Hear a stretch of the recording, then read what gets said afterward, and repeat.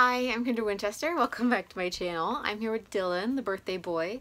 You might see he has his birthday sign back and he's wearing his birthday bandana. Yeah. So, so he's decided that he's going to help me with my book haul today. And he probably thinks all these are for him. So there you go. So I have some books that I received either from friends or I bought them or the publisher sent them to me. But first up, I have a stack of books that came from family or friends or I bought them. So let's get started with that. Yeah, you see this one? Okay. So first up is Furiously Happy by Jenny Lawson. This is her second uh, memoir, and this is more like a collection of essays. It says a funny book about horrible things. I read this at the beginning of the year, and I really enjoyed it, and Autumn found one at a little free library. So I donated a bunch of books to the little free library, so I was like, I think I could take this one. So I am really excited about it.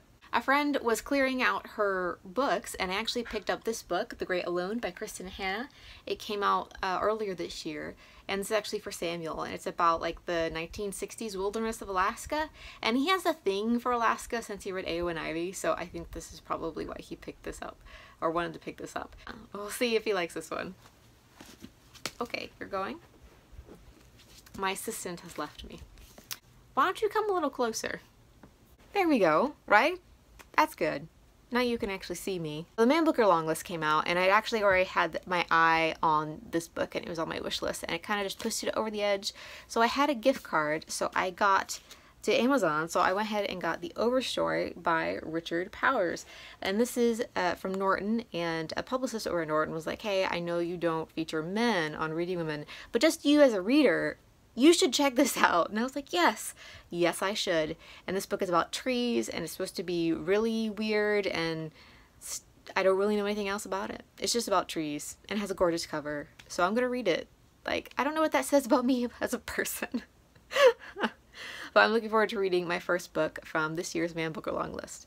So we had a bookish exchange on one of the groups I'm in, and I received uh, two of the Virago Modern Classics. So this is Deep Water by Patricia Highsmith, and it's introduced by Gillian Flynn, and then also we have The Magic Toy Shop by Angela Carter, introduced by Carmen Callil. Um, this these two are just gorgeous and there's even more in the series. I actually put them on my wish list in the first place because I saw them over uh, on Simon's channel from Savidge Reads. He had gotten some of these and now I must own all of them.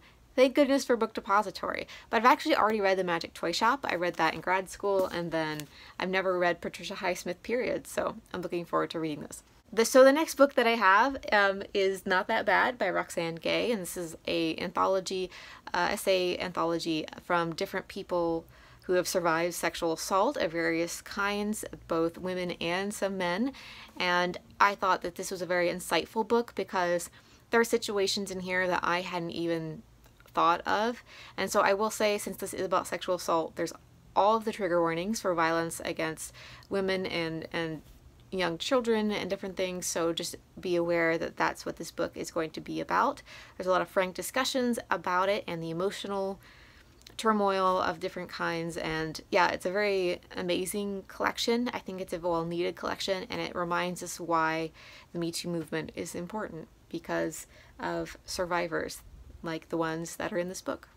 I also have to recommend the audio of that as well, which is how I read it, and each of the authors reads their own essay bring the tissues. I just, but it's so good. It's so well produced. So next are the books that I received from publishers. This is Three Daughters of Eve by Elif Shafak, and this is uh, out from Bloomsbury. And this is about three different women. And I had this on my most anticipated releases list, and Autumn received it and ended up just she didn't want to read it. And so I was like, hey, I will read it. And then Matthew Sciarappa said that he really enjoyed this book. So I'm looking forward to reading it even more now because, yes. I always like it when my friends endorse like that that choice. It's like, yes, I wasn't crazy for picking up that book. Thank you. Thank you for that validation. I also received a copy of Fruit of the Drunken Tree by Ingrid Rojas Contreras. Sorry, I'm trying to read cursive like backwards here. Uh, this is out from this is out from Doubleday. And this is about a family and it was one of my most anticipated reads. So this book is about a family living in a gated community in Bogota, and they actually meet uh, their maid, or I think it's cleaning lady, something like that, who comes in, and it's like this dynamic of the tumultuous political climate that they're in, but also the dynamic of class in there. I've heard nothing but wonderful things about this book. Autumn is so excited. She's taking this book on vacation, and she's just yeah she bumped it up her TBR and this is probably her most anticipated release of the summer so I'm looking forward to see what she thinks about it but also reading it myself so we'll see. So next up is uh, Rachel Heng's Suicide Club, a novel about living. And actually, Russell over and Paper blog was like, Have you read that yet? I was like, No. He's like, That's good. That's good. I was like, Okay, I'm trying to avoid spoilers. So I think that this book is a set in future where nobody dies. And it's like what makes life worth living if you don't die, I don't actually know. So I'm looking forward to reading it. And yeah, if Russell likes it, then I will probably really like it. At first, I thought it was like a cult novel about this group of people, like, like in a cult deciding to have a suicide pact or something. And I was like, eh. But then I was like, oh, that's not what it is. So I'm excited about reading it. So I don't know about you, but I haven't actually read too many books from New Zealand besides Katherine Mansfield because we don't really talk about any other New Zealand writers, do we? Eleanor Catton? Maybe. Anyway, so we have Can You Tolerate This? A collection of essays by Ashleigh Young. This one's some sort of war award in New Zealand. And I can't remember what the award is, um, but this is out from Riverhead. And I'm very much looking forward to reading this because I definitely need to pick up the pace on Australian and New Zealand writers. I I just did not realize. I thought like there was like the a, you know, books come from the UK all the time. Why aren't we getting books from Australia and or New Zealand? You know, it makes it's, it's a logical question. Anyway, I'm looking forward to reading this one and seeing what this book is all about. It's also blurred by Maggie Nelson. So, a book out from Harper Voyager is one we've all been looking forward to, and that is Becky Chambers' third book uh, in her Long Way to Angry Planet series, uh, is Record of a Spaceborn Few. I'm one of the few that actually preferred A Close and Common Orbit. And I've heard from Mercedes that this book is kind of in between those two in its style and different things. So I'm interested to see where I fall with this one. But I've heard from a lot of people that they've really loved it. So I, I think it'll be a great book. I think this is going to be another palate cleansing book. And I'm really looking forward to that. So this is a book that I received a while ago and I wasn't sure if I wanted to read it, but a lot of reviews have come out recently. This is a book from uh, Glynnis MacNicol, and this is No One Tells You This. This is her memoir about being an older single woman who is childless. And I read all the Single Ladies by Rebecca Traister and is actually won the very first nonfiction reading award. And I think this covers a similar similar topic, but in a memoir type way. So I'm very interested in reading this, and I actually just found the audiobook on Scribd, so stay tuned. I might be talking about this very soon. So this is a book I received from Houghton Mifflin Harcourt, and this is an arc of The Kinship of Secrets by Eugenia Kim, and this is about a Korean family that leaves Korea for the America for greater opportunities and different things. And then the war breaks out in Korea and what that does to their family and their time and different things. This is the, when I received it in the mail, I'd never heard of this book before. So I'm very much looking forward to reading it and seeing what this is all about. A poetry collection I received is Flatlands by Ruth Williams, and this is from Black Lawrence Press. And this is a poetry collection that was pitched to me as just a poetry collection and a thought process on living in the flatlands. You know, since I'm a person who live who's an American, but I live in a region that's often ignored, like the flatlands, I'm very interested in poetry reflecting on your identity as where you come from in the region. So I'm very much looking forward to this poetry collection. Hopefully, I will be reviewing it soon. We all love Jen Campbell here on BookTube, and as Sophie Carlin says, she is our queen.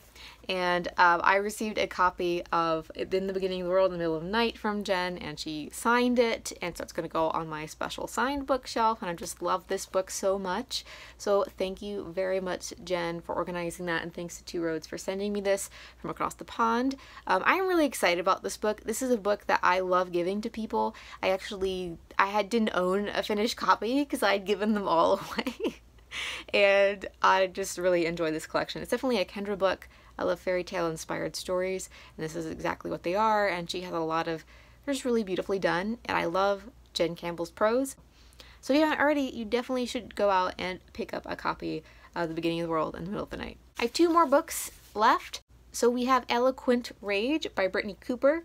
Struggling to talk. So this book is subtitled A Black Feminist Discovers Her Superpower and she actually had a TED Talk. So if you just Google Brittney Cooper TED Talk, you can find it.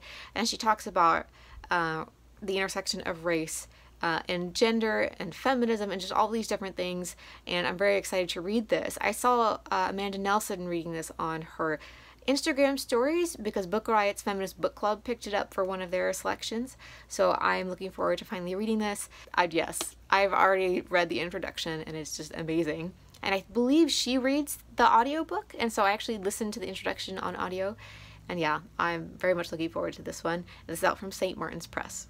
Last, certainly not least, is The Incendiaries by R.O. Kwon. Obviously, this is from Riverhead because it has an amazing cover. Uh, they do just perfection on their covers.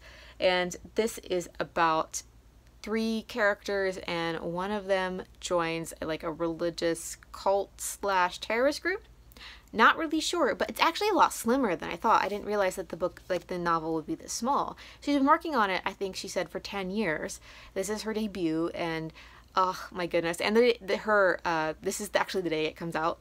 So yeah, I'm just really excited for this book. Heard nothing but wonderful things. One of my most anticipated reads of the year.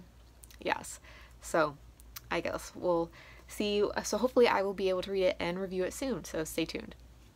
So that's the last book I have. Thanks to the publishers for sending me those books. I greatly appreciate it. I would not be able to do my job without them. So thanks to them. And also thank you for watching. If you think I should bump one of these books up my TBR because you really enjoyed it or like to see me review it, definitely let me know. Uh, I definitely take that into consideration when choosing what to read. And I also like seeing more reviews of books. So, but that's it from me and I guess I will see you in the next one. Bye guys.